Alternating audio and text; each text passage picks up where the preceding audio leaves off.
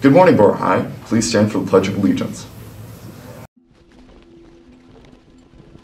I pledge allegiance to the flag of the United States of America and to the republic for which it stands, one nation, under God, indivisible, with liberty and justice for all. Good morning, High. These are announcements for November 19th, 2021.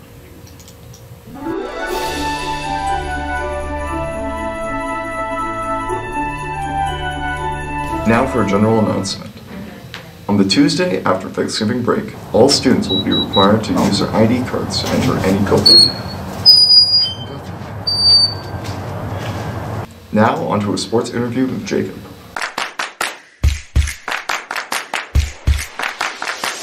On Saturday, November 20th, the girls basketball team will be hosting Mountain View, and the game will be at 6 p.m. On Tuesday, November 23rd, girls basketball will be playing at Kuna, and on Saturday, November 27th, Bellevue basketball will be opening up their season hosting Milton at Borah. Good luck to both teams. Yo, Mohammed, what are you doing? Uh, it's my car, you know, like, what's up? What do you want, bro? Oh, could you tell me the weather? Oh, yeah, sure. T- uh, today is a 53 degree with rain, and next week it's a 46 degree with sun and cloud. Oh, okay. Thank you. I got you. Next up, a club interview with Ethan Weekey. Thanks, Ian. And today we are with a special guest from French Club. Yes, hi, my name is Eleanor Mosley and I'm on the French Club leadership team. Now, what is French Club?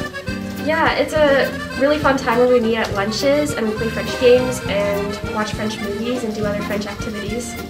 Who is your administrator? What class do you meet in? And what is the room number?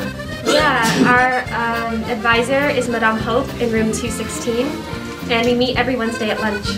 And do you need a French class or know how to speak French to join? No, you don't have to be in French class, you don't have to know any French to join, but it's a fun time where you can be exposed to more French and French culture. Well, Eleanor, thank you for coming. And Borah, come join French Club. Back to you, Ian. That's all for your announcements for this week, Borah. This is Ian signing off.